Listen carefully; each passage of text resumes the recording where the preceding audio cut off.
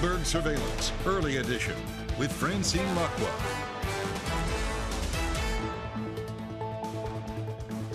Good morning, everyone, and welcome to Bloomberg Surveillance Early Edition. I'm Francine Lacqua here in Paris. Here's what's coming up on today's program. U.S. Treasury yields rise over growing credit risks, funding concerns, and heightened fears of default if Congress fails to raise the debt ceiling on time. Credit Suisse Chief Executive Ulrich Körner will join the UBS Group Executive Board as a Swiss lender, announces a broad management overhaul following the takeover. Plus, China imports plunge as concerns grow about the nation's economy. Asian stocks rise after export growth tops estimates. So you've guessed us, we're here in the French capital, in Paris, for the Bloomberg Future of Finance Paris Forum. Now, business leaders and policymakers are here to explore the future of Paris as a financial center, and of course, the sustainability issues and tech innovations that are reshaping finance. We'll bring you interviews with chief executives, including the chief executive officer of BNP Paribas, also Stéphane Boujnah, Euronext chief executive. Now, investors, of course, will be a very close eye, uh, of course, watching U.S. President Joe Biden and congressional leaders as they're set to discuss the debt ceiling later today. PIMCO co founder Bill Gross recommends buying short term Treasury bills as he says the issue will be eventually resolved. I think it's ridiculous. Um, I, you know, it, it's always resolved, and not that it's a 100% chance, but I, I, think it gets resolved. I would suggest for those that are uh, less concerned, uh, similar to myself, that they, uh, you know, they buy a one month, uh, two month Treasury bill at a much higher rate than they get with a longer term Treasury bill. Now, for more on all of this, let's bring in Bloomberg's managing editor for credit, Dana El-Baltaji. Dana, thank you for joining us. So, how big of a deal for global markets is the U.S. debt ceiling debate? It's huge, but are they really starting to worry about it? You're right. It's absolutely huge. But um, PIMCO is just the latest voice to basically come out and say how ridiculous the debate really is. At the end of the day, is the U.S. actually going to default? The chances of that happening are super slim. And as he points out, there's an unbelievable buying opportunity here. We're talking about yields that we haven't seen I mean, in, in, a very long time, sometimes ever. We're talking about an extra 250 basis points that you can easily make within the next four weeks. I mean, that is quite a significant buying opportunity here. So, yeah, I understand that it's a big deal. I realize everyone is looking at it, but the odds of a default seem to be significantly low. Of course, those could be famous last words. Yeah, I think we also spoke to Philipp Hildebrand a couple of weeks ago from BlackRock, and he says, look, there's slim chances that something turns ugly, but if it's ugly, it could be Armageddon. Uh, what does the Fed's latest senior loan officer opinion survey show? Um, it seems it seems to suggest that it, it is that it is quite low. But again, you you know, I mean, I think ultimately what people are really looking at is U.S. CPI data, which is actually coming out tomorrow. If you take a look at the market today, it seems quite tame. That's mostly because at the end of the day, what people are most concerned with isn't necessarily this, it's mostly whether or not the U.S. is going to continue increasing rates, which is what we will probably see with the U.S. data tomorrow. Dana, thank you so much. Bloomberg's managing editor for credit, Dana El-Baltaji. So we'll have plenty more, of course, on the debt ceiling. Joining us is also Freya Beamish, Chief Economist and Head of Macro Research at TS Lombard. Freya, always good to speak to you, especially to, to cool off our hot-headed uh, market moves. When you look at the debt ceiling, like what kind of positioning should we do right now? Should we prepare for it and hope for the best, or is it very unlikely that we will come to anything too ugly? I mean, again, it can be famous last words, but we are working off of the assumption that something will happen probably at the last minute, which is kind of, you know, um, we're, we're approaching that that period. Um, so yeah, we're working off of that assumption. That said, over the summer there are a few kind of um, kind of headwinds and pitfalls for equities to get through. Of course, the debt ceiling being being one of them. But I think more importantly is the sort of the the re- the point that we're reaching in the in the cycle, which is essentially that we're moving from the stage where inflation is driven by sort of all of the, the shocks that have fed through the system from COVID um, through, through to through to the energy to actually um, to the wage driven part of the cycle, as is sort of right and proper for this for this stage of the cycle. But that's much more um, of a difficult thing for equities to to to, to stomach. and that's that's why we're sort of cautious on equities in the in the near term. Um, but sort of looking beyond that, we do think markets have, have broadly speaking got it right in terms of, of the direction and the kind of the, the magnitude uh, of the of the Fed funds rate. Um, and it is a very forecast recession that that we are still kind of holding out for. Um, so we're looking for for equities to, to sort of recover reasonably well, especially when you look at um, the the central bank impulse, which has already turned uh, in favor of asset prices, having been very much against asset prices Freya, um, through through 22. Yeah, overall, what kind of asset prices will we be left with post recession? So, are there longer term legacy issues for inflation and higher returns? Yeah, so I think markets are very much. I'm glad you asked that because for, for markets are very much um, getting things reasonably well right this year. But looking beyond that, that's where we have big concerns of over over mispricing of asset prices. So this year we think that there will be a recession, but markets are sort of getting it wrong as to what the causes of that recession are. It's about breaking the speed limit. There's a recession because um, the, the the rapidity of the, the the increase in interest rates has just been so rapid, uh, so so strong that the, the economy can't can't stomach that but the economy can stomach the level of, of, of, of, rates right now over a longer term basis and, and can potentially stomach higher yields over a longer term basis. The same with, with inflation, that inflation could come down quite precipitously this year. Um, and markets are kind of getting that right, especially if you, if you include shelter and the lagged effects of, of, of previous price uh, movements but it's it's again about the causes of that. The causes of that decline in inflation are about COVID distortions coming out of the system. It's not about the secular trends in inflation, which we think are picking up. And there's a whole host of kind of factors that feed into that. But if you want a kind of a big picture idea as to where that comes from, you can think about the, the, the imbalances that we see in the economy right now compared with the imbalances that we saw in the contrasted with the imbalances that we saw in the wake of the global financial crisis. In the wake of the global financial but crisis, Freya, so we also had debt. No, we also Sorry, had some really disappointing news out of China. And I don't know if you put that into context of what you're explaining beautifully about a credit crunch, but yeah. also a lot of the loans may be disappearing in the US. Could we have a perfect storm emerge all at once? I think we are looking at some more kind of global recessionary dynamics once you get through the kind of the, the, the reopening in China.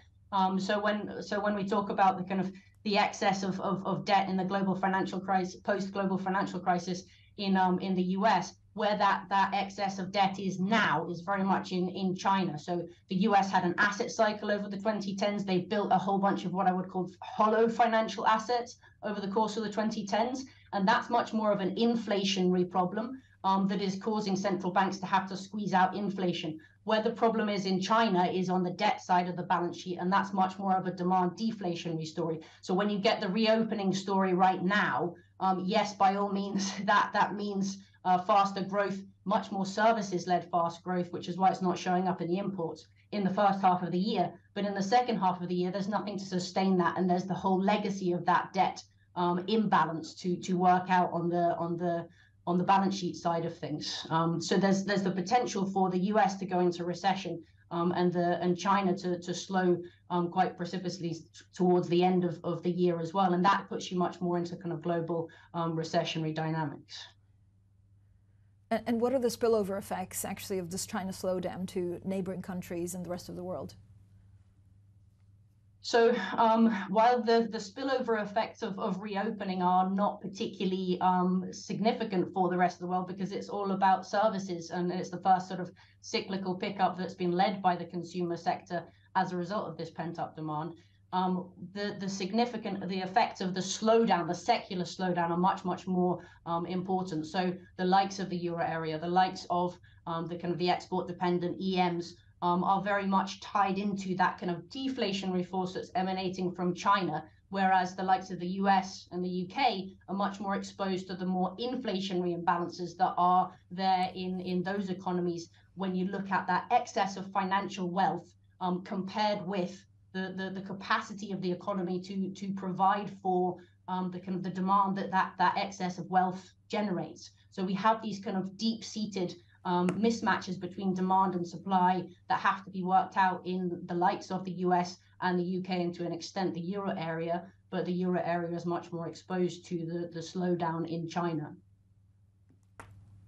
And Freya, are you surprised? And I know this goes also into something that you mentioned with lending of, you know, coming from banks in the U.S. and the credit crunch that could potentially get worse. But it seems to have pretty much been contained, the fallout from, you know, some of the stress that we've seen in the U.S. banks. Again, famous last words, or do you think a lot of those worries are behind us?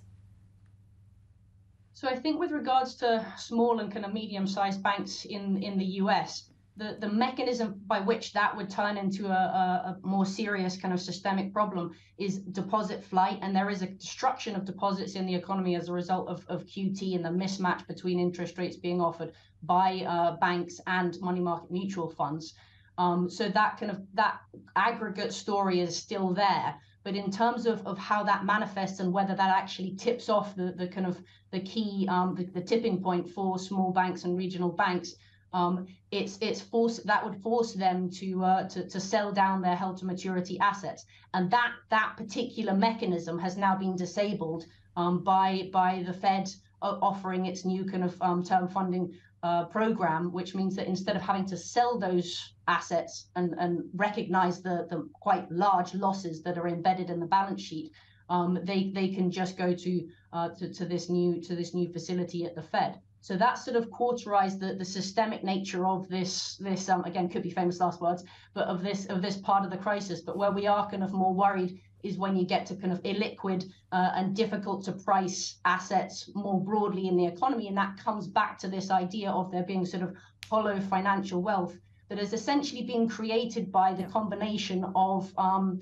of, of large deficits through the 2010s and then again in the in the 20 in the pandemic period um, with the expansion of the central bank balance sheet, which is a perfect concoction to create this kind of financial wealth that doesn't really have a home in the real economy. In fact, it's created as a result of deficiency of demand in the real economy. So there's this big mismatch between financial wealth and the size of the real economy. And there's only a few ways that that can kind of come back into into kind of into balance, either through decline in prices um, in the uh, in the in, in the financial world or through increase in prices in the in the real economy.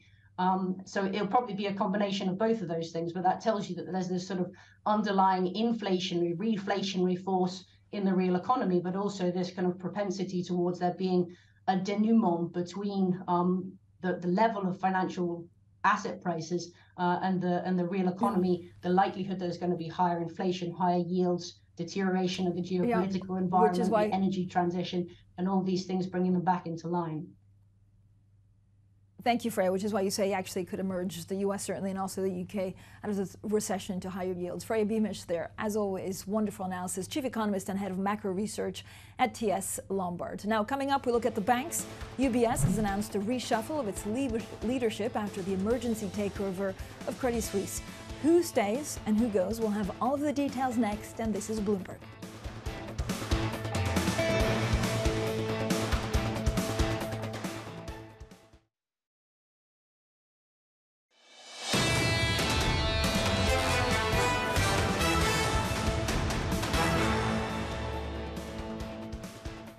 Welcome back. So UBS actually appointing Todd Tuckner as Chief Financial Officer. Of course, he replaces Sarah Youngwood as part of the management overhaul following the takeover of Credit Suisse. Now, this is the share price for the moment, gaining some three tenths of 8%. Of course, when the deal closes, the bank says Credit Suisse chief executive Ulrich Körner will also become a member of the UBS executive board. Not something that many were actually expecting, although we had found out that there were possible conversations heading in those directions. So, for more, let's get to Bloomberg's Manus Cranny, uh, who knows, of course, the story inside out. Manus, I don't know what that means. If they're just trying to create a war machine, right? To be to be sure that they have all angles covered and then can move ahead in execution. I think you're right. I think it's a surprise that Körner has stepped across. I mean, he's a veteran. He's had 10 years at both banks. He left in the reshuffle of 2019, Francine. Bear that in mind. Uh, he left during an Ermotti uh, shuffle. I think what you have here is a very clear delivery for continuity, people who Ermotti has confidence in, and people who've been loyal to the UBS machine. And I've worked with Ermotti through turbulent times of turning UBS itself around. Let's just look at some of those changes, Francine. If you're a veteran and you know what you're doing within UBS, you've been rewarded, you remain on this board. I find it interesting that uh, Rob Karofsky, who, has, eh, you know, he's only been there since 2014, I say only, but he will lead the investment bank solely. And then the Dauphin, as I call him, which is Iqbal Khan, I'm sure that won't go down well at home in, in Switzerland, but he remains sole president of the wealth management. So this is about this is about continuity. But I think when it comes to Körner, uh, of course, this is about the transition from what remains within Credit Suisse to come across for a phased period and a pivotal point in time. And there are some pretty significant female leads here as well, Francine. Just to give you some context, Michelle Bereaux, she is head of transition and integration 23 year veteran at UBS. So you could say herself and Ermotti are very closely aligned. Francine. Manus, when you look at, of course, how, how, you know, again, this is an integration that we're hoping legally, I think, will be done in the next couple of months. But then we also heard from the chairman of UBS that this will take maybe three, four years. It's extremely complex. Is it too soon to, to try and figure out, because, you know, this happened six weeks ago, is it too soon to, to figure out how it's going so far? I think it probably is. It's presumptive. And I mean, one thing which Ermotti was very clear about when we sat down, and you know, listen to the tone in his voice. I'm glad you've met a few people that know how to run a Swiss bank, Manus. Maybe, maybe you'd like to introduce them to me. Um, facts, not emotion, will run the thinking of Ermotti. And if you look at the complexion of this, as you say, a war cabinet, almost a group of individuals, men and women, who will quite literally take this organization by the neck uh, and reinvent who they are and what they are. Uh, to that extent, this is about creating um, a group of people who know one another very well, who know how to do the job. And I think where we are, Francine, with this right now, it's too soon to say what it is. 100 people have gone in there. We know the advanced posse, the advanced team are looking under the hood. I think when we get to the end of July on the next set of numbers, the market is going to want to know something really quite significant about what bad assets you're going to tank. And here's the thing the structure will have five core parts wealth, investment banking, personal corporate banking, investment banking, and you got it. It's back at the top of the charts. Non core bank, and that will be headed by Beatrice uh, and she is a veteran of over 10 years. You're right, it's back in the top five on the billboard. The bad bank is back, and that is how quickly and aggressively that will be run down. The assets, as you and I have talked about several times, and the parts of the bank, Credit Suisse, that Ermotti et al. do not want. Yeah, and, and I know we both know Beatrice, a force to be reckoned with, I think, is how many people would describe her. Thank you so much, Manus Cranny, there with the very latest on UBS. Coming up, we'll have plenty more on some of the big corporate stories we're following. Saudi Aramco says it's well positioned to cope with fluctuating prices, and this is despite slightly disappointing first quarter sales. We'll have the details next, and this is Bloomberg.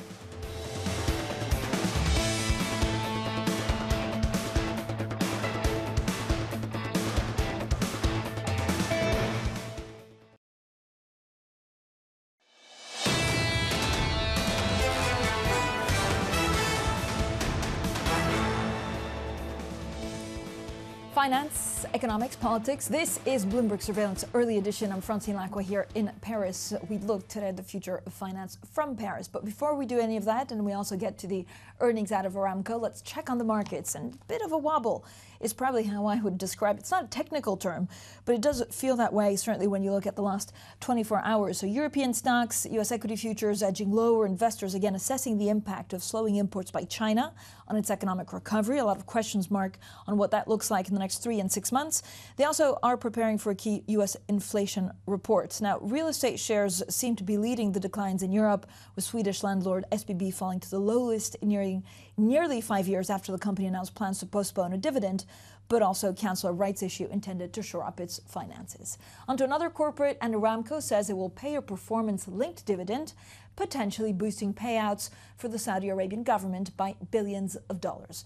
Now, this also comes as the world's largest energy company reports a miss on the first quarter operating profits. So, to round up all of the numbers, let's get straight to Bloomberg's energy and commodities team leader, He's Paul Wallace. Paul, great to speak to you. So, will this dividend announcement actually mean more money for shareholders, not least the Saudi government? Hi, Francine. It certainly looks that way. We've already started to get some numbers coming through and forecasts coming through from analysts, and we've got Bloomberg Economics saying that this could boost the dividend, which um, already stands at about $76 billion, by $20 billion or more. RBC Capital Markets is predicting $12 uh, to $18 billion of additional payouts from, from the company. So this is looking like a pretty good, move, a pretty big move um, from Aramco, and we've already seen a stock surge this morning. The shares were initially up by about 7%. They've sort of trimmed gains a bit, but um, that just sort of shows you um, that investors are pretty excited by this. So, Paul, what does the government, you know, does the government actually need more money from Aramco?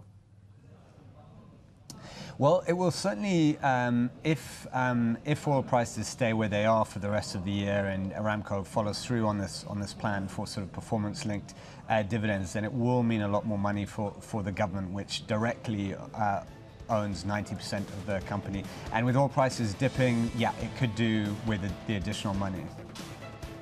Yeah.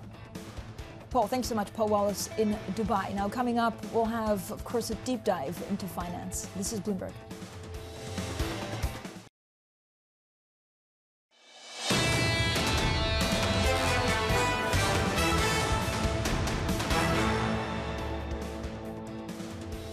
U.S. Treasury yields rise over growing credit risks, funding concerns, and heightened fears of default if Congress fails to raise the debt ceiling on time. Credit Suisse chief executive Ulrich Körner will join the UBS Group executive board as the Swiss lender announces a broad management overhaul following the takeover. Plus, China imports plunge as concerns grow about the nation's economy. Asian stocks rise after export growth tops estimates.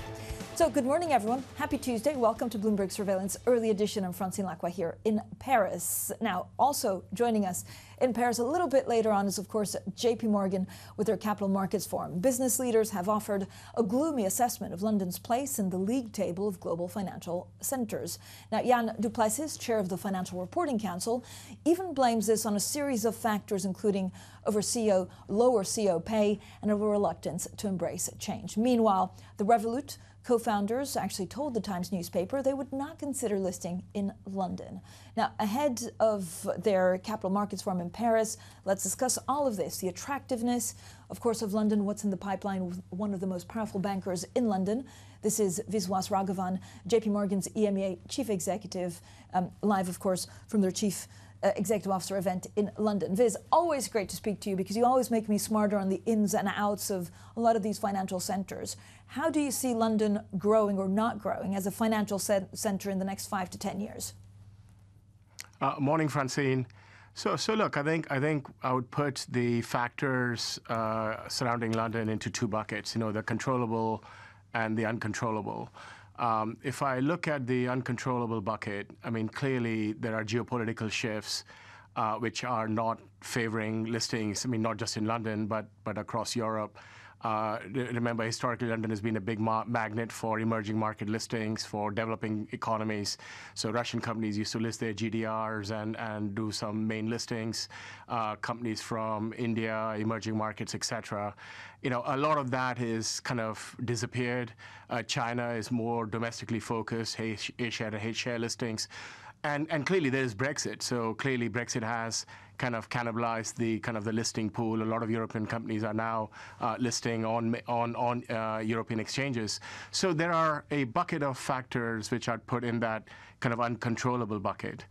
But within the kind of increasing the attractiveness kind of quotient in the controllable bucket, clearly London has historically, you know, been a, a, a great money center the rule of law, uh, quality of regulation. I think that is a that's a huge plus. Uh, the FCA's uh, reforms, uh, proposed reforms around regulation, uh, the Edinburgh reforms. I think what what is being considered is kind of making sure that we don't gold plate it and and keep the attractiveness kind of alive. And then clearly the, the pool of talent, the international multicultural talent, that needs to continue.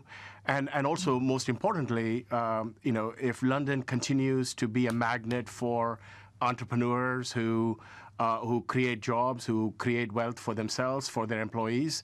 If that kind of uh, magnetism and the attractiveness of, of, London continues, then clearly I think the the, the out, outlook could be uh, uh, could be positive. But it's very important that those controllable factors are are we are on top of those. Yeah, and at the same time, there's been a lot of pushback, for example, because of the CMA's, you, you know, decision on Activision Microsoft. So, are, are, you worried that we're going to have a less favorable regulation that will take business away from London? And what does that mean for JP Morgan? I mean, look, I wouldn't read too much into the, the, the CMA's uh, decision on Microsoft. I think you have to evaluate these on a case by case basis. So, you know, uh, you know, the UK happened to be first. It could have been uh, the EU Markets uh, Authority, or could have been the the US uh, kind of uh, regulators. So you you cannot infer too much or extrapolate from just kind of the Microsoft uh, decision. And and and really, there are a lot of other factors that go into it.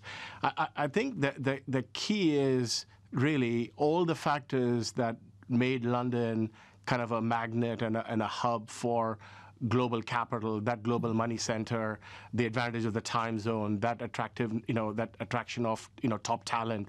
We got to keep doing all of that while making sure that you know it is a, a, a, very kind of a proactive and a an environment that fosters entrepreneurship and really kind of look to you know the green economy, you know technology, life sciences, really as a as a as a, as a magnet, because also you know what what is what what we cannot underestimate is eh, when, when you look at valuations, especially from a U.S. perspective there is a valuation uplift to be had from uh, you know, compared from a London uh, domicile to kind of, you know, redomiciling to the, yeah. the US. And, and some companies have trod that, that route. So I think that that is something which, you know, uh, companies really are considering and evaluating all of the time. But uh, Viz, so for you, for example, since Brexit, do you have to duplicate costs because you have to have a, fub, a hub um, also in Europe, and how sustainable is that?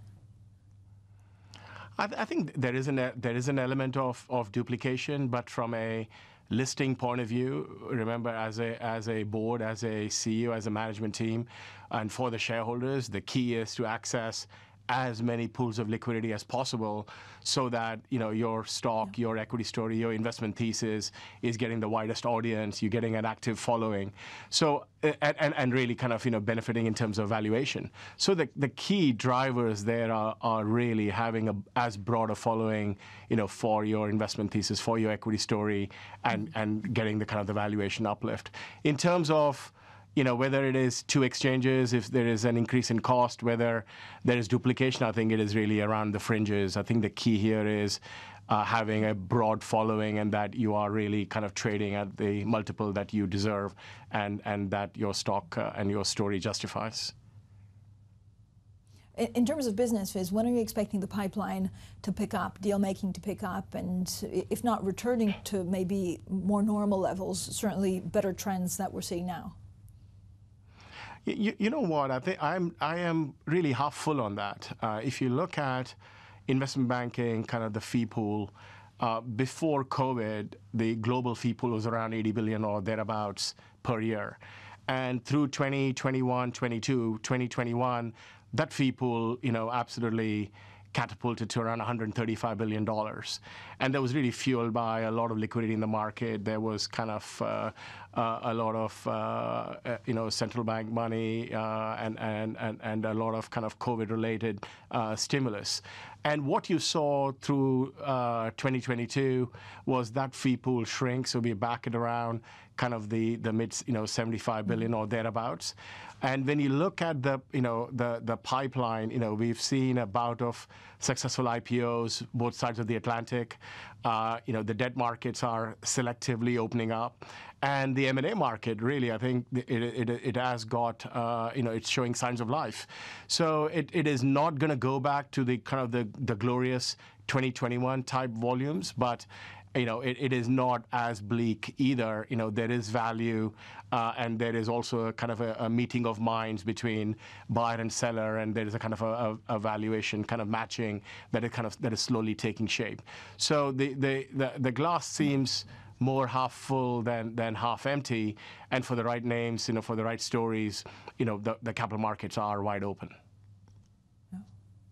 Um, are private markets a way in for banks, or are they too dangerous just because of the lack of liquidity and where we are in the cycle and the possible credit crunch coming? Um, I mean, I mean, look, I think when you talk about banks, what we saw around kind of SVB and Signature and First Republic, it's it's a bit idiosyncratic. It was kind of uh, those were unique situations. There was kind of a uh, an asset liability kind of mismatch situations. If you take broad banking, uh, you know, uh, the, the, the, there are generally, you know, whether it is the United States or in Europe, the, the, the large banks are all uh, prudently capitalized. They're in good shape. Uh, and, and, and so I, I, would say, you know, generally credit conditions are, are tightening. Uh, there is uh, selectivity. there is selectivity. You know, liquidity generally in the market is a lot more selective. Uh, there is a flight to quality, but that is to be expected given where we are in the economic cycle. That is kind of you know quite uh, quite natural. Uh, but but overall, I would say you know if you if you look at the uh, you know the, the, the broad kind of market you know, you, you are seeing uh, a, a, general kind of tightening, and and and investors, boardrooms are are naturally cautious, given uh, the economic prognosis. Um, if it's just one final question on the rollout of Chase, how's that going elsewhere? So outside the UK, are you still planning the, the Germany launch, and what happens after Germany? So look, I mean, Chase in the UK is is is really going uh, extremely well. Uh, we we have uh, way over a million customers, and and we're doing really well on on on deposits. And and and as you as you know, you know we are uh, we we've been hiring in in in Berlin.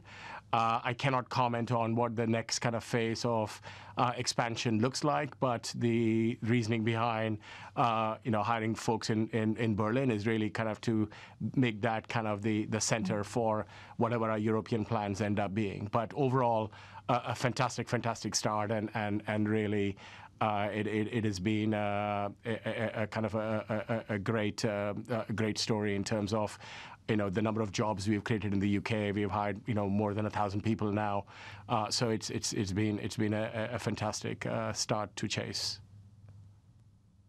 Vis, thank you so much. Viz Viswas Raghavendra, EMEA Chief Executive Officer at JP Morgan, uh, joining us for an exclusive conversation on banking and Paris and the UK and, of course, Berlin. Coming up, we touch on this week's MLIV Pulse survey asking which developed economy will suffer the most in 2023. Spoiler alert, it's not looking great for the Brits. That's next, and this is Bloomberg.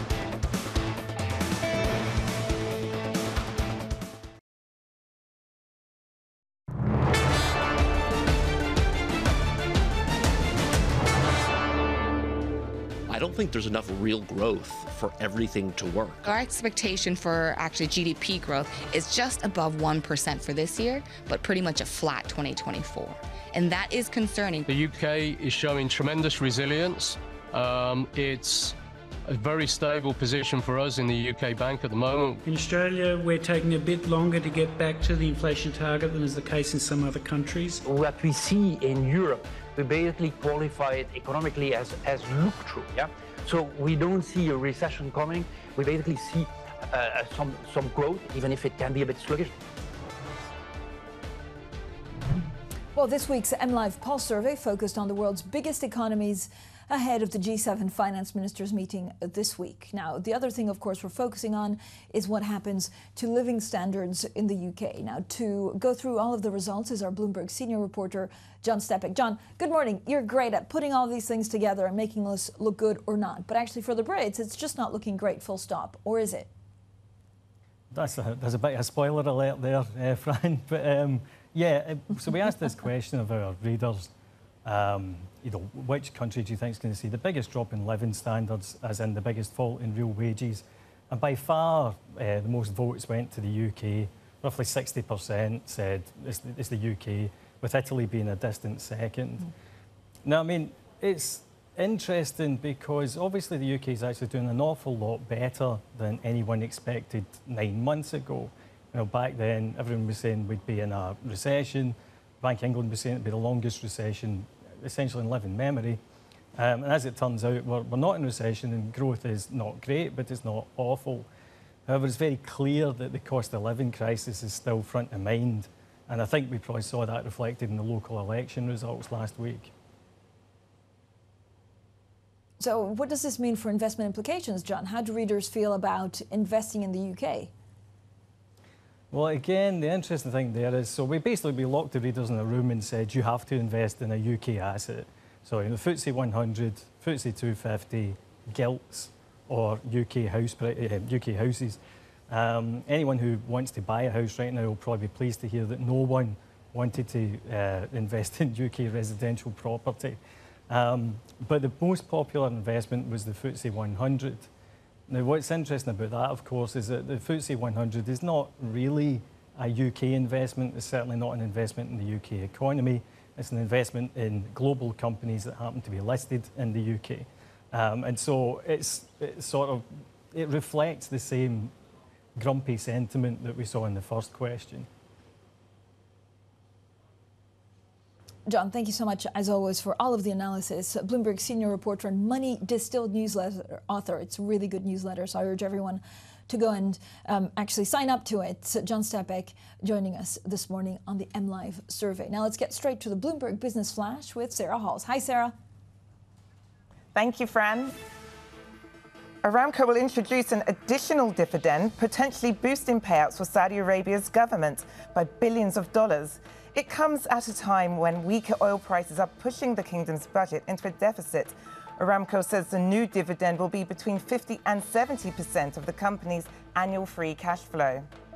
China's export growth slowed last month while imports plummeted, adding to pressures on its economic recovery. According to official data, imports dropped almost 8% in the year to April, much worse than the median projection of a 0.2% decline. Exports grew 8.5% over the same period, partly due to a favourable comparison with last year, when much of the country was under lockdown. PayPal shares fell in extended trading after the company lowered its adjusted operating margin forecast. The payments giant says it now expects the margin to grow by about 100 basis points this year, lower than its earlier forecast of 125 basis points. The weak guidance overshadowed PayPal's first quarter earnings beat and its higher full year profit forecast. Global news powered by more than 2,700 journalists and analysts in over 120 countries. I'm Sarah Halls, and this is Bloomberg. Fran.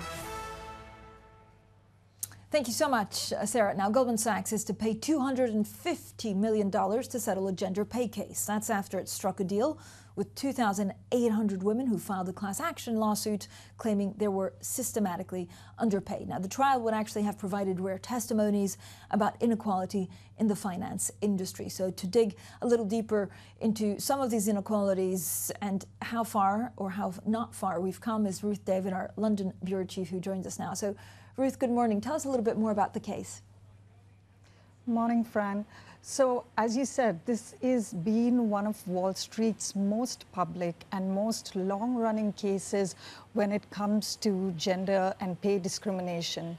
If you recall, Christine Chen, Cristina Chen-Oster, who was the key plaintiff here, she first filed a complaint in 2005 and she could go to court only in 2010 and it was it took her another eight years to get more about 1400 more associates and vps added on to that complaint and that number has now grown to 2800 this is a pretty large chunk of women that are saying we have been discriminated against in the workplace and we have been given less pay. There was also a claim to talk about how it's a boys' club, which was rejected because the judges said that you need to, that's not going to come into a class action lawsuit.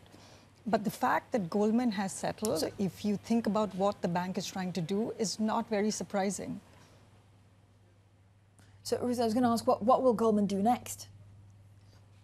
Well, so the money, if you, you know, 215 million looks like a lot, but put it in context. We are excellent reporter Sridhar Natarajan, who was talking about Goldman Sachs and who broke this story as well, was saying that in November 2022, there was a partner who had sued Goldman and they did a confidential settlement for 12 million.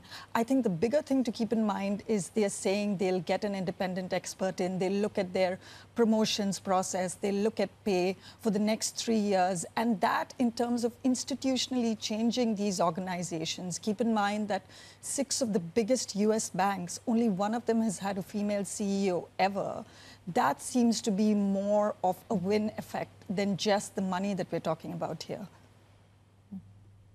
Ruth, thank you so much. Our London Bureau Chief there, Ruth David. Now, coming up, we'll have thank plenty you. more on geopolitics. Putin fans the flames of nationalism and looks to rally more support behind the war in Ukraine at his Victory Day remarks in Moscow's Red Square. So we'll discuss more on that next. And this is Bloomberg.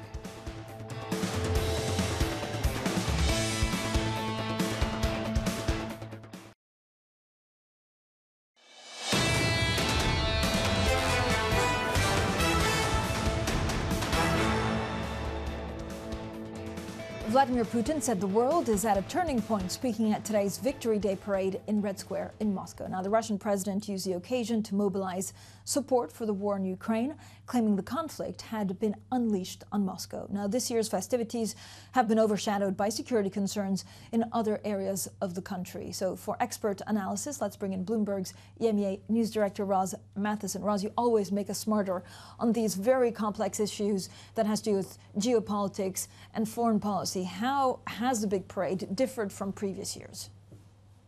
Well, mainly it differed in size. What we saw was a lot of troops marching up and down, but we only saw one tank, an antique tank, which usually appears at these parades anyway, but no other armoured cars, no series of tanks, no flybys by warplanes, and certainly no big missiles on display. And the reality is all that kit is being used at the moment for, for, for Putin's war in Ukraine, so you had less of it to put on display in Moscow today. And of course, there were other parades that were cancelled uh, in other parts of Russia, really to kind of collate what he had uh, to put on display in the Red Square this morning. So what we saw is a really slimmed down display in terms of the machinery that was there. Certainly we saw the usual troops marching by and so on. A lot of patriotic comments from the Russian president in his short address at the start. But if anything, what it highlights is the toll that this war has taken on Russia's military establishment. So, what are your main, main key takeaways, Roz, from Putin's comments? I mean, he says it's it's not Russia's fault, and that's basically to rally support from his from his people.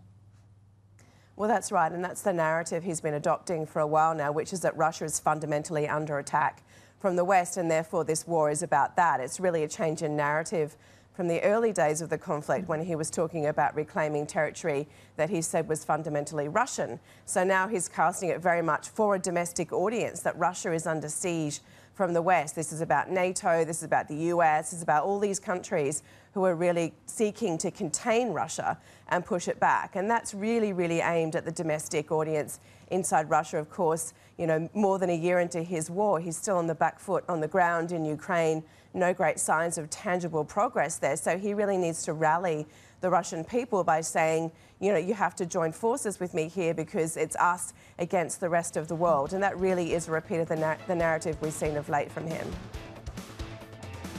Roz, thank you so much, as always, for your expert analysis, Roz Matheson. Coming up, we'll have plenty more from Paris at the Future of Finance.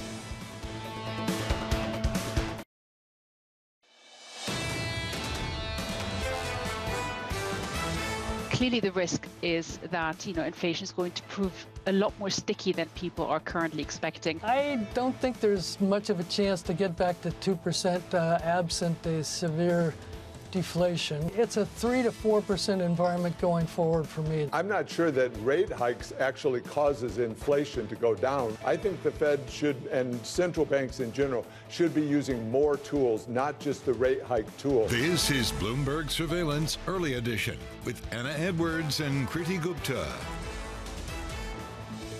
It's 10 a.m. in London, 5 a.m. in New York, and 5 p.m. in Hong Kong. Our top stories today.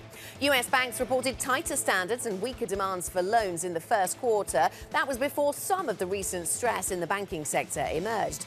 UBS is overhauling its top management team following the takeover of Credit Suisse. The CFO is being replaced, and Credit Suisse CEO Ulrich Körner will join the UBS executive board.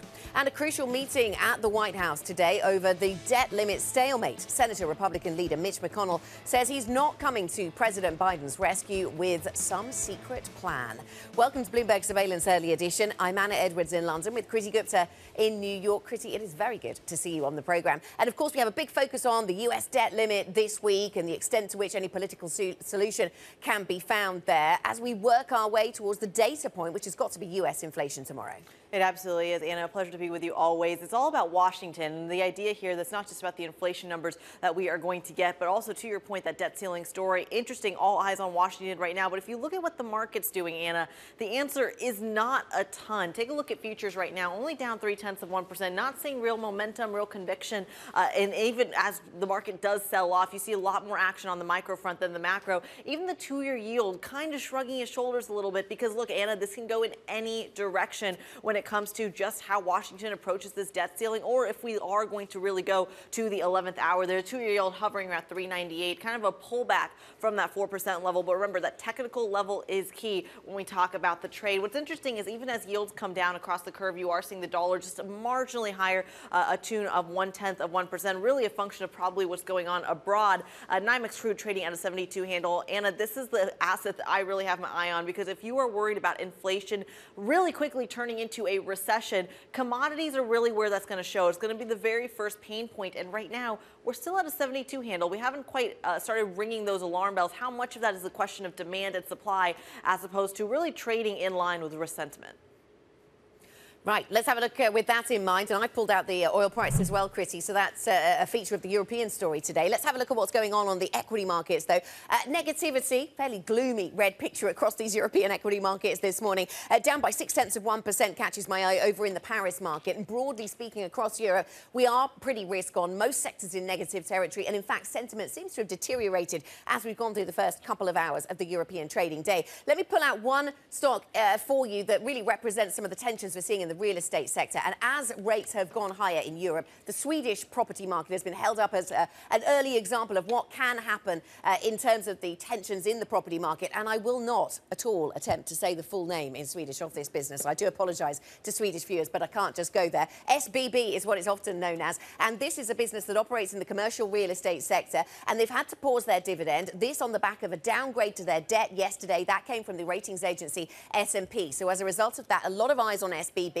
Will this be something of a canary in the coal mine uh, for the tensions that we see in the Swedish property sector and elsewhere? How much could that spread? Now, this is Pearson. This is a, a, a publishing business. It's been really under pressure of late. We've seen a couple of days where this, uh, this stock has really come under pressure as a result of what rivals have been saying uh, or the market suspects will happen in the face of uh, artificial intelligence and generative AI in particular. Now, the company has confirmed its guidance today and said it is working to, uh, to uh, work a generative AI into its business model. So as a result, Pearson goes higher by 2.6%. We had an interview with Martins Kazaks over at the ECB, and that's really interesting when you think about how long the ECB will keep hiking rates for, even if the Fed is on pause, and we'll see if that comes to pass. But the euro is down two tenths of 1%, despite the fact that Martins Kazaks says that the Fed, uh, so, sorry, the ECB can keep hiking, even if not just that the Fed pauses, but even if the Fed cuts. Uh, that's his view. And this is Brent crude, Kriti. You were mentioning WTI. It is down by eight tenths of 1%, Brent crude 76. We started last week at uh, around $80 a barrel.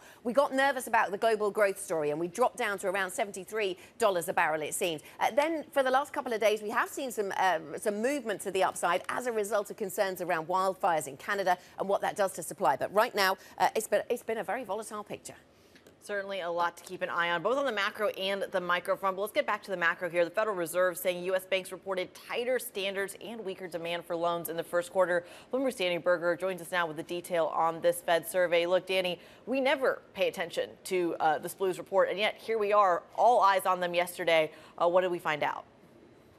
Kriti, come on, you gotta you gotta pay attention to the SLOOS always. Uh, look, part of what we saw was this big debate unfurling. Just how bad was it? One camp saying, look, uh, it was already really tight before SVB, or it was getting tighter. So what's a bit of incremental tightness? But we did see a net 46 percent of banks have further tightening. So that's an additional amount of what we saw after last quarter. So it, it does just show that conditions remain tight. And the longer they do so, the more borrowers will be hit. Um, Cameron Crise also has a really good read on this, too, that it's not necessarily just about these tighter conditions, it's about the demand picture that has just completely evaporated. It, it, it is a dynamic that's more commiserate with a recession. So, again, that supply and dy- uh, demand dynamic really is what we should be focusing on here. Yeah, really interesting, isn't it? Because on the demand side, yes, some voices, Goldman Sachs, I think, were calling for that number to, to, to sorry, on the uh, supply side, to jump to 60% or so. Mm. We didn't see that, but we did see, as you say,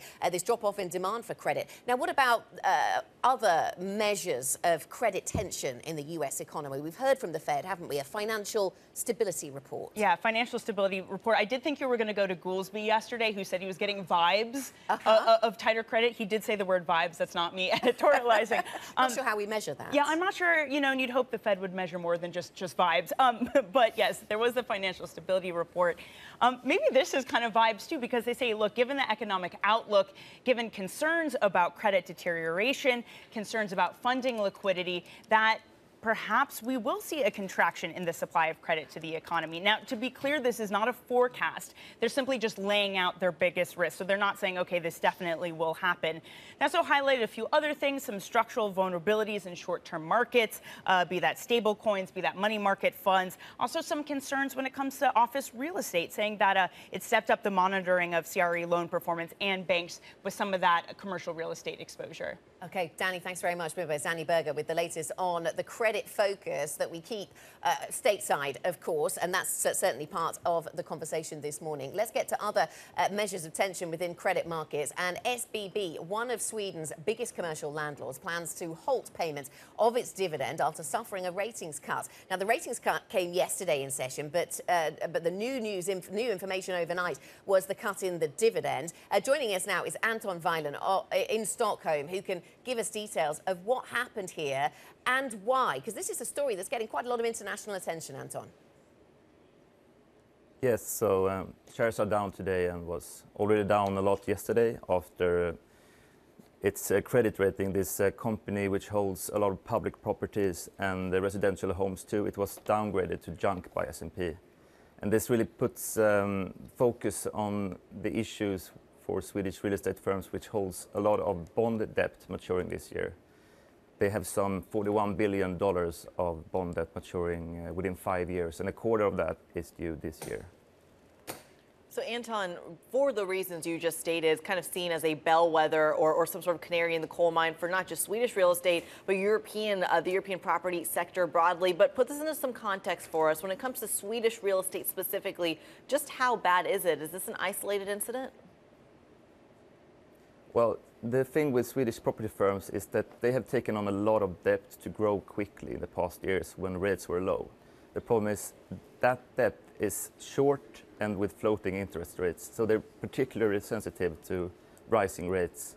And what happens now is that bond market is too expensive to finance on, and they will seek bank funding, but banks in Sweden are already exposed to this uh, industry. So um, other options are halting dividends, as we saw last night, also selling assets.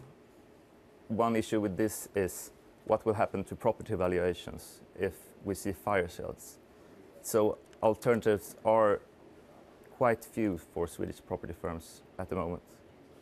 Anton, thank you very much. Anton Wilen uh, in Stockholm for us on that developing story around SBB. And it sort of taps into broader concerns globally around uh, commercial real estate, other parts of the real estate uh, sector in focus as well, as rates have been rising so quickly, of course.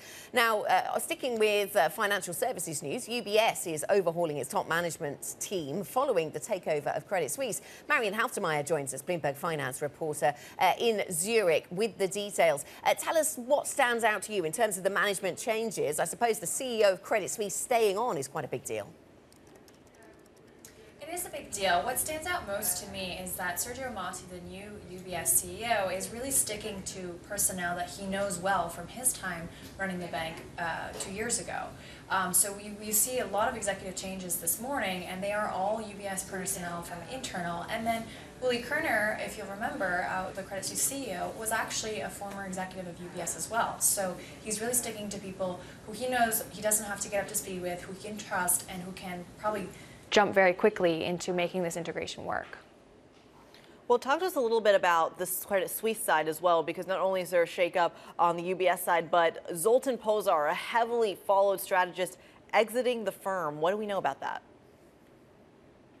So we've we've seen a lot of high-profile people leave Credit Suisse before the merger and in the wake of the merger. Uh, he is yet another high-profile name. We had Michael Strobaek, one of the lead strategists for the chief investment offices of Credit Suisse also leave recently. Um, so that's not great. That means UBS isn't able to retain some of these key, really high profile people that would have made this merger and this franchise even better.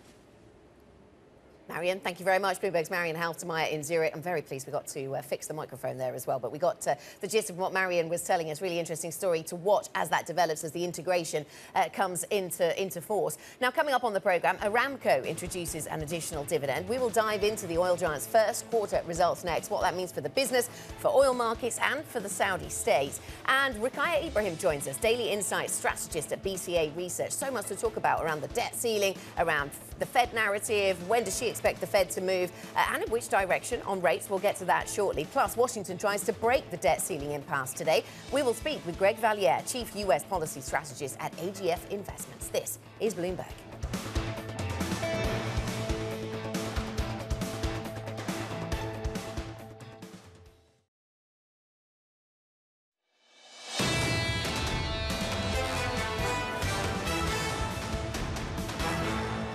This is Bloomberg Surveillance Early Edition. I'm Kriti Gupta in New York with Anna Edwards in London. Now, keeping you up to date with news from around the world, here's the first word. Vladimir Putin vowed to pursue his invasion of Ukraine, accusing the Kremlin's enemies of seeking to dismember Russia. Putin spoke at the start of the annual military parade celebrating the Soviet victory in World War II. He said that a real war has been unleashed against the motherland. Goldman Sachs will pay $215 million to settle a long running class action lawsuit on underpaying women. The case involved about 2,800 female associates and vice presidents. It was closely watched in an industry where women have long said that complaining of unfair treatment can derail careers. In China, more pressure on an economic recovery that's already been called into question. Export growth slowed last month to 8.5%, which beat expectations. Meanwhile, imports plummeted almost 8%. Economists warn that the strong export figures aren't likely to last forever. Shipments are expected to drop this year. And in the UK, mortgage rates have started to head higher again, reversing a downward trend. The big six mortgage lenders increased rates slightly on the average two year fixed rate mortgage last week. It now stands at 4.65%. The cost of a mortgage is likely to climb higher if the Bank of England keeps raising rates to fight inflation. Now, Anna, that seems to be the core of the issue around the world when mm. it comes to the property sector, but extra uh, tough for citizens of the UK who are already dealing with a, a cost of living crisis. Right. I mean, uh, the, the, and what we saw here, of course, was that these rates jumped around the time of that October so-called mini budget, uh, and then they dropped back down again. They sort of normalised after that, and, and, we had a change of management, as we know, here in the UK. But then that still meets a rising tide of interest rates globally, and not least from the Bank of England. So rates still uh, generally seem to be ticking higher, or at least have returned to doing so. Coming up on the programme, we'll get back to that Aramco story as it introduces that additional dividend. We'll dive into what that means for the uh, Saudi government, for the oil giants' uh, uh, business, and uh, much beyond. This is Bloomberg.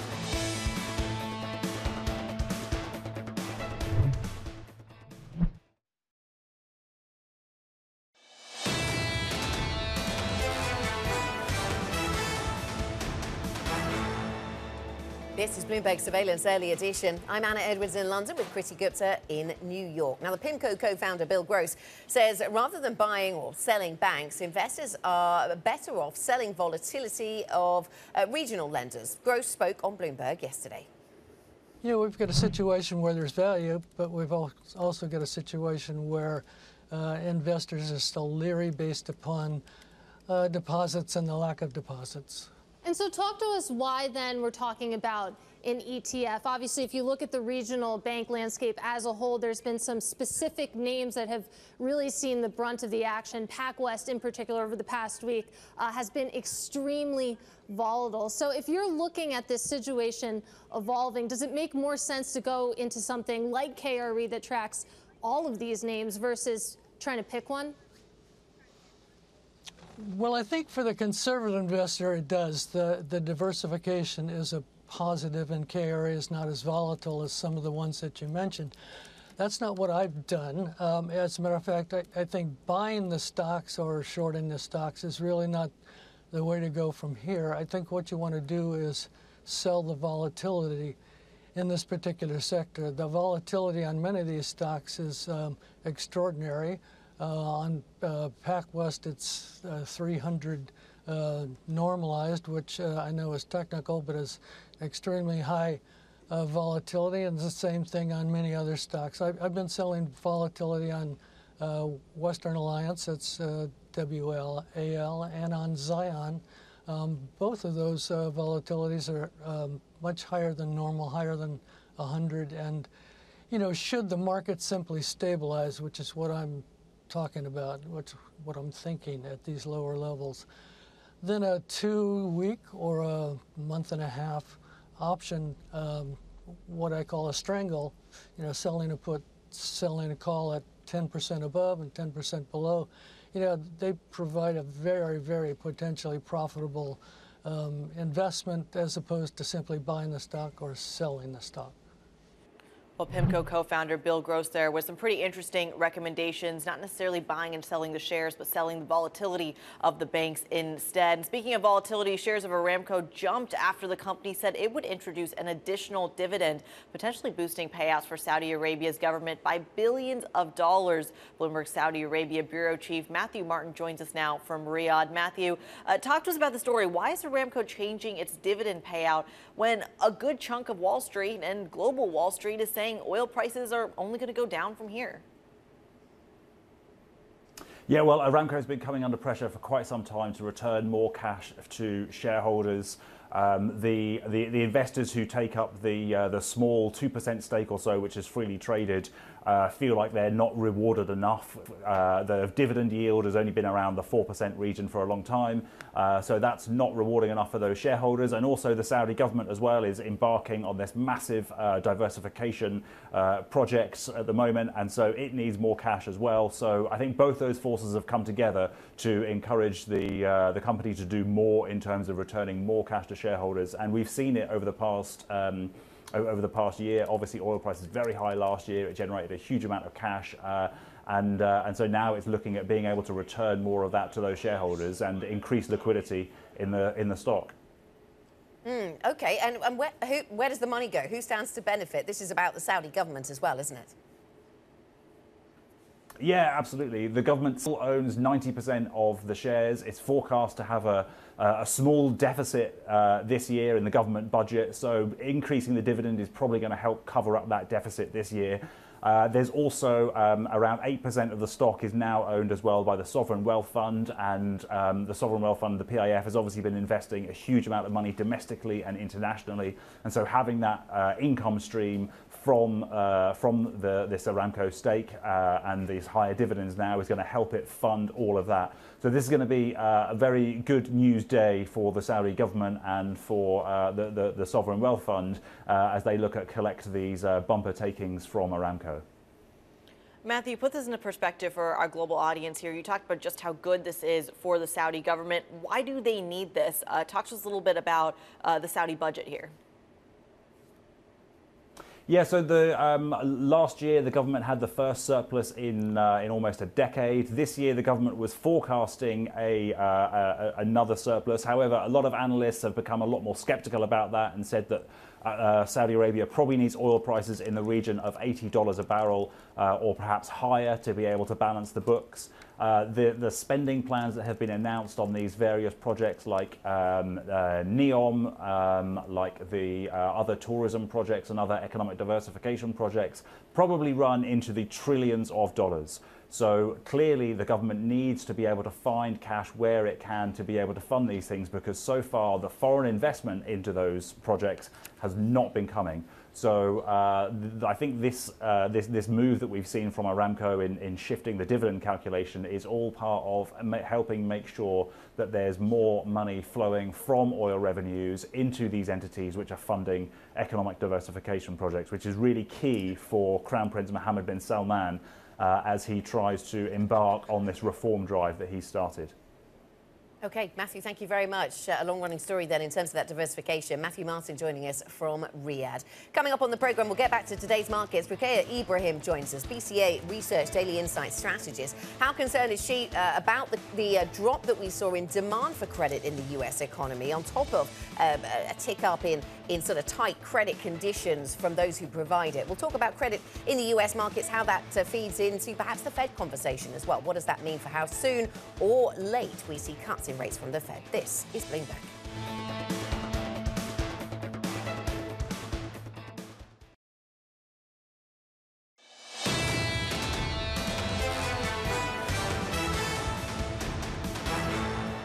This is Bloomberg Surveillance Early Edition. Here's what you need to know. U.S. banks reported tighter standards and weaker demands for loans in the first quarter. That was before some of the recent stress in the banking sector emerged.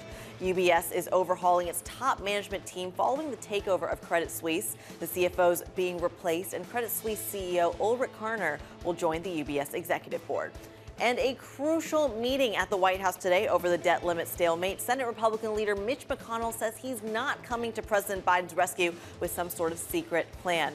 I'm Kriti Gupta in New York with Anna Edwards in London. Anna, a lot to digest stateside, but of course the European session is going to certainly influence how the trade pans out here. Walk us through what we're seeing.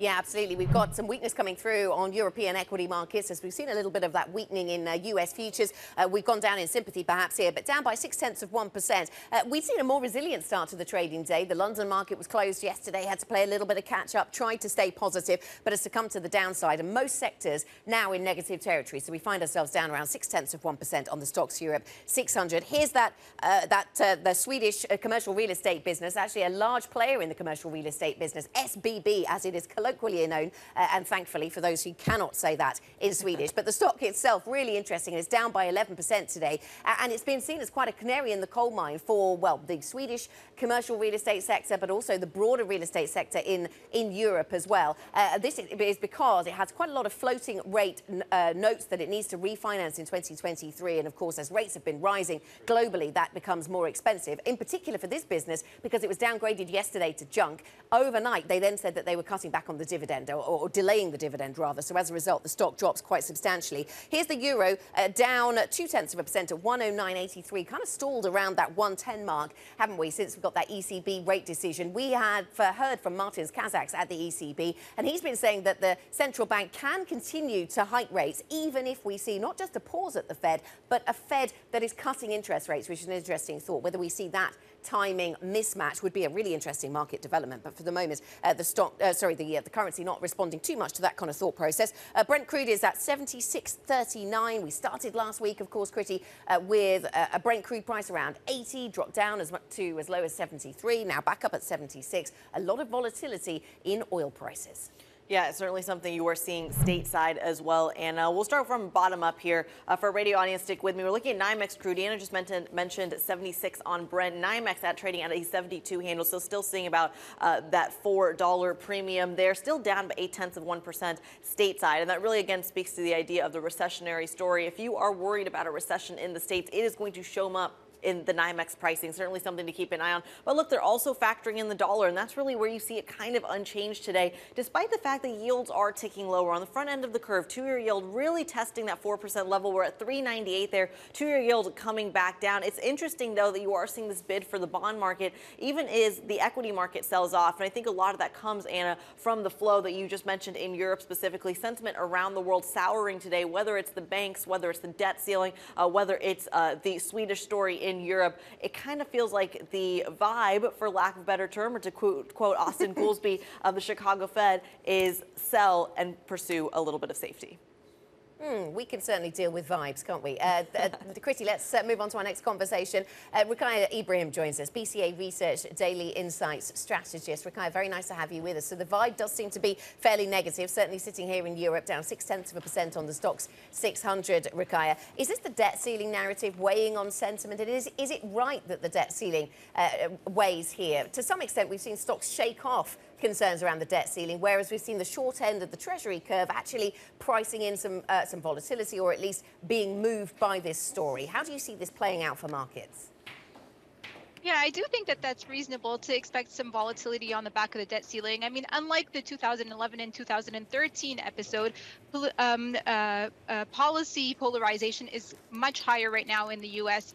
And what we're likely going to see is even if we do uh, ultimately um, avoid a crisis, there's going to be some brink- brinkmanship in the lead up to it, and that's going to lead to some volatility, um, and that's justifying those moves. So I think that you know inv- investors this time around should be paying attention to what happens in in in the um, in terms of the debt ceiling in the U.S. And like I said, that's going to lead to some volatility in equities, even if uh, the limit is ultimately um, resolved. Mm. And talking of volatility, Roukaya, we saw markets take a moment to understand what the SLOOS uh, survey uh, of, of, loan officers, what, what that messaging was really all about yesterday. And it was really interesting to see, yes, there were some institutions that were dialing back the availability of credit to their borrowers, but there, were, there was also a really notable pullback in demand for credit at the time when we saw a lot of tension around the banking sector. So perhaps that's, that makes sense. But what do you see as the sort of wider implications of a pullback in credit, either supply or demand in the United States?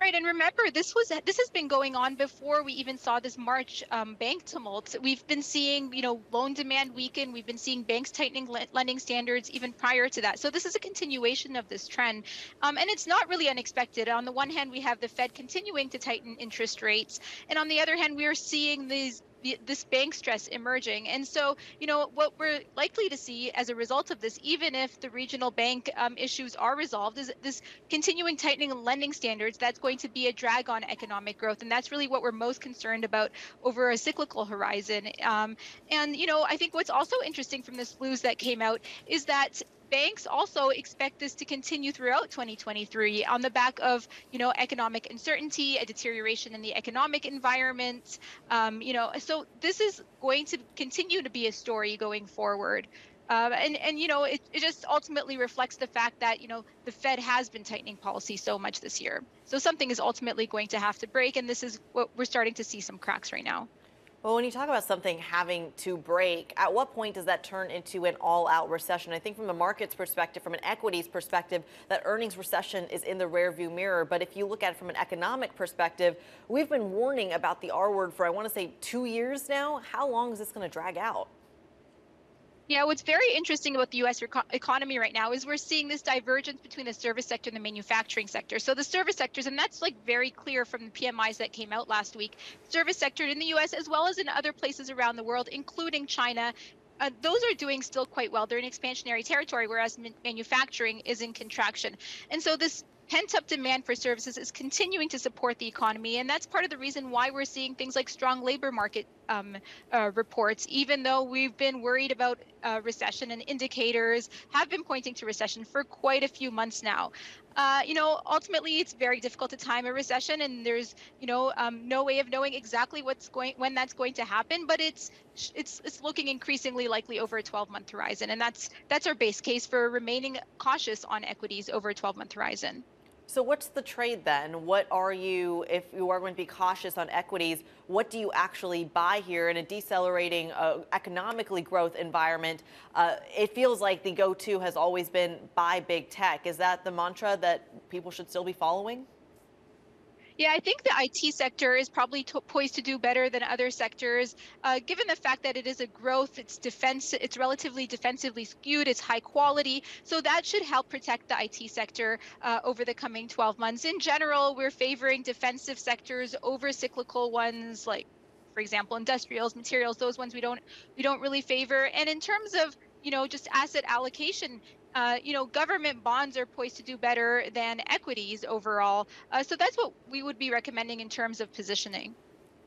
Mm, and in terms of European assets, uh, the euro fairly range bound at the moment, around the sort of one, uh, 109, 110 level, Roukaya. Uh, but we've heard from some at the ECB that they think the ECB can keep hiking uh, even as the Fed not only pauses, but maybe gets to the point where it cuts rates. I mean, could you see that divergence in policy coming to pass? And, and how strong would the euro get in, in that situation? I mean, the message from the ECB that we got last week is that, you know, Christine Lagarde, she point blank said that, uh, you know, uh, uh, interest rates, although she they, she does believe they're at restrictive territory, they're not sufficiently restrictive, which signals that, you know, she's they're, the ECB is most likely going to hike again in June and maybe again in July as well. Now, if that does pan out, uh, you know, we would characterize that as a policy mistake. It would raise the risks of a policy mistake in the in the euro area, which would be uh, negative for risk assets in the eurozone. Um, you know, because ultimately inflation is a lagging indicator and wages are a lagging indicator, and these are really the, the indicators that the ECB has been focused on right now. Whereas if you take a look at credit conditions in the in the euro area, not unlike in the U.S. Uh, we got the the um, the the survey for the eurozone last week, and that also showed that credit conditions continue to tighten in the eurozone, which reflects the tightening in monetary policy that we've seen in the eurozone.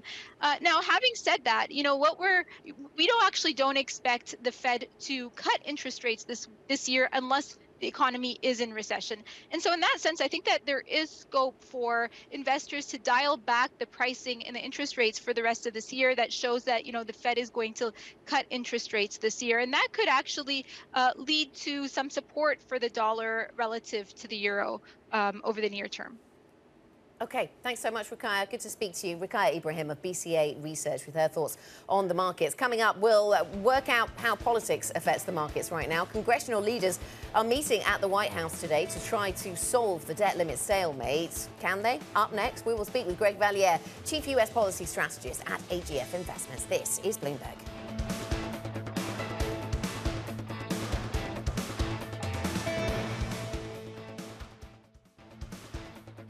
This is Bloomberg Surveillance Early Edition. You're looking live at the Principal Room. Coming up later today, an interview with B of A Securities Europe CEO Vanessa Holtz. That's at 10:30 a.m. New York time. This is Bloomberg.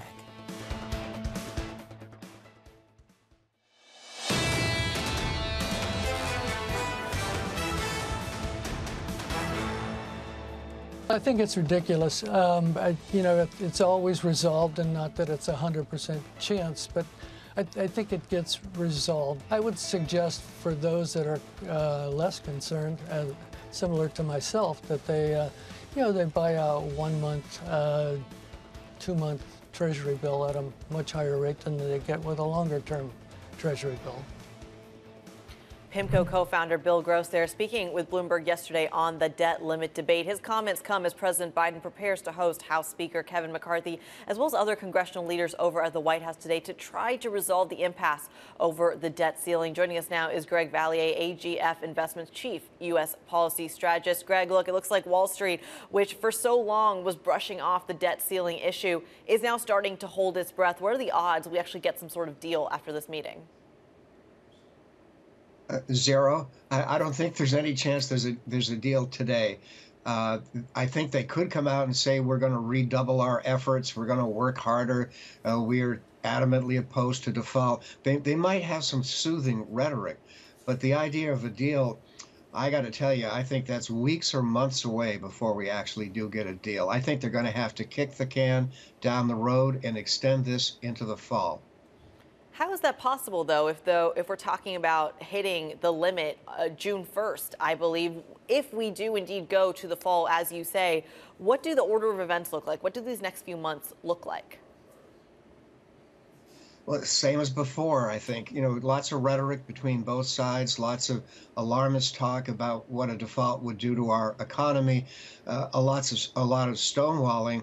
And I think an awful lot of speculation about Kevin McCarthy. Does he have enough support among his troops? Uh, he's on a very, very short leash, and I think that he doesn't have a lot of flexibility to to to ease up on the plan they passed a couple of months ago.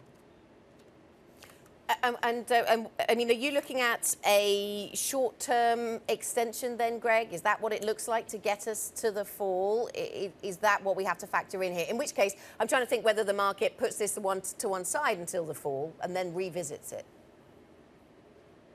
Well, I think the stock market would.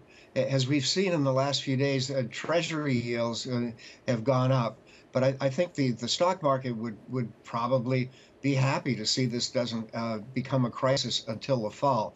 Uh, and that might give them an opportunity to actually get a, a decent deal.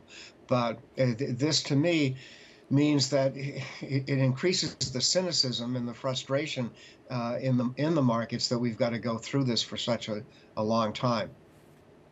Mm, and you actually put quite a high percentage chance on a default, Greg. Talk us through your thinking there. Yeah, I've been at 60 40 that we get a deal uh, since the winter. I st- I'm still comfortable at 60 40. F- 40 is high. I mean, that's that's a little nerve wracking to think there's a 40% chance of a default. I think before we get there, there's going to be one last look at a lot of gimmicks, not just kicking the can but I think they'll look at the 14th Amendment to the Constitution, which has a really intriguing sentence that claims that we, we, we have to pay our debts. Uh, they might even look at minting a, a $1 trillion coin. Uh, there's all sorts of regulatory action that could occur. So I think we've got to go through all of these gimmicks. And I would add, Congress is on vacation a lot. They're out for much of the rest of May. They're out for uh, the second half of the summer. So there's not a lot of time. I think we get to Labor Day and then things really heat up. Greg, I love that you mentioned that a good chunk of Congress will be on vacation because now I'm wondering, in the meantime, as this is all sorted out, of course we have we're going to be on default watch, uh, as you say. What about things like paying pensions, paying government salaries, uh, funding for museums, the Smithsonian's, for example? How does that all play out? Well, th- that's a big, big issue if we get to a, a, drop dead date and we don't get a deal, whether it's in June or whether it's in September. If there's no deal, then you, you have a lot of uh, government spending uh, frozen. And I think in particular, Social Security is going to be a big, big issue.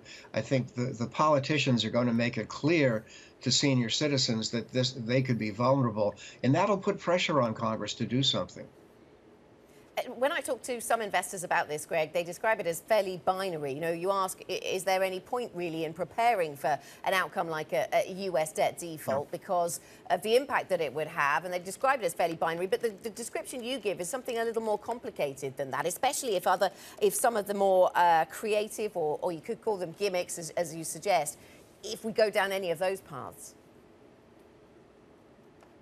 Oh, absolutely. I, I think it would be a, a, bigger concern for the fixed income market. But let, let me just make this point. To my surprise, the stock market has not really been affected by this at all. The market has other things to worry about, Federal Reserve policy, things like that. But the markets, I think, still have a sanguine view that at the last minute, as we saw in 2011, we'll get a deal. I have a view that at the very last minute, if it looks like there'll be a default, the Fed would have to get involved. I think Jerome Powell would be aghast and very upset. He calls this a loathsome option. But in desperate times, you take desperate measures. And at the very last minute, I wouldn't be shocked to see the Fed get involved. Mm, he did recently say, though, there's little they can do to protect the economy. Uh, say again?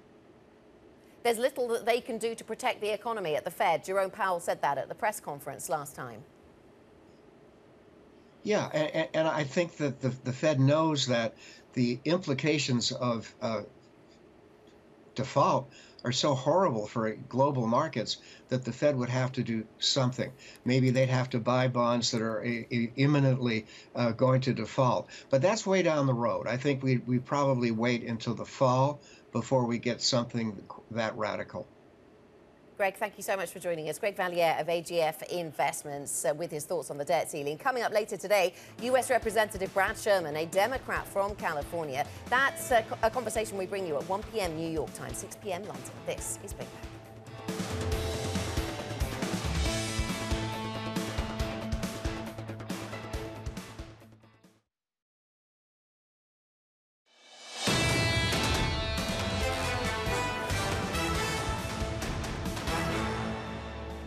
Bloomberg Surveillance Early Edition. I'm Anna Edwards in London with Kriti Gupta in New York. Now, let's take a look at what is ahead today. Uh, before the US market open, we will get uh, Fox. The focus for that report will be uh, the impact, of course, on Tucker Carlson's departure and Fox's settlement with Dominion Voting Systems. What does that do to the numbers? At 12 p.m. Eastern Time, New York Fed President John Williams will be speaking to the Economic Club of New York. Airbnb and Rivian are among the companies reporting after the bell. And today's main event, US President Joe Biden is scheduled to meet uh, Speaker Kevin McCarthy and other congressional leaders to discuss the debt ceiling. Although, as we were hearing from Greg Valliere, he doesn't expect a deal imminently, then, Kriti, uh, to come from this meeting. And I know that you're looking at uh, some of the things that are moving more imminently in pre market trade. Yeah, on the macro front, everyone kind of staying a little bit frozen to your point, Anna. But on the micro, a lot of movement. Palantir, for example, is one of the stocks that I'm watching this morning. PLTR for our radio audience is the ticker. Look, they came out with earnings yesterday after the bell, and they said their demand for AI is unprecedented. The share is moving about 19% in the pre-market. Anna, all they had to say was AI that and yeah that shot the stock That's up enough. higher. I mean, I was talking about a business here in Europe, uh, Pearson, of a very different nature, but they were talking about AI and working that into their business. And yeah, lo and behold, that sent the stock higher as well. Um, what about PayPal? We've had news flow around that one. Yeah, PayPal's another major one. Look, they also came out with their earnings, and look, they beat them. You're already seeing this become a major theme where a lot of these stocks are beating their earnings. They even raised their profit outlook for 2023. Ordinarily, Anna, that would be a positive thing. Instead, the shares are down about 4% in the pre market. They're saying that their margin outlook is actually coming in significantly weaker, so getting punished by the street there. And the semiconductor uh, devices business that is Skyworks, that seems to be making some news. Yeah, Skyworks we know and love from being the Apple supply chain. It's one of those stories I love to see every time they have the iPhone demand story or or a geopolitical story. Skyworks gets hit alongside Apple, along the likes of likes of Cirrus, for example, or Qualcomm. So this is that chip maker that's down about 10%. Look, they matched Wall Street estimates, but they also missed their outlook. Now, look, this is a stock that's been under a lot of pressure uh, since Apple announced they're going to go in-house for developing their chips. But Anna, for me, this is extra interesting because we like to look at the likes of Caterpillar or John Deere stateside as these global bellwethers. Uh, but I would say chip makers like Skyworks turning Mm. into more of a global bell- bellwether. They actually warned about a little bit of headwinds when it comes to not the Apple iPhone, but the Android instead, and that's where they're seeing a few hiccups.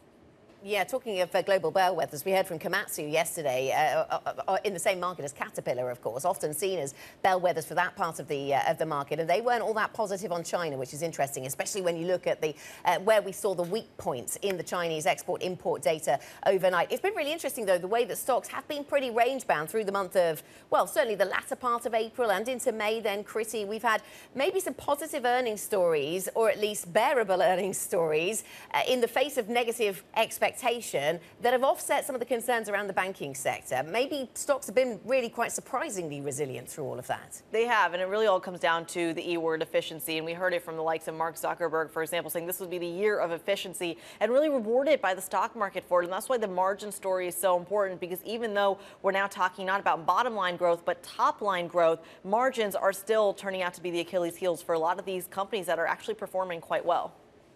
Yeah, and it's all about margin sustainability as well. Uh, uh, we hear from some of our guests, uh, not just what they can do now, but what they'll do in the future. That is it for early edition. Surveillance is ahead. Uh, they'll be hearing from Oppenheimer uh, during the programme. Lots to talk about as uh, we continue coverage of the debt ceiling debate over in the United States and get ready for CPI data tomorrow. This is Bloomberg.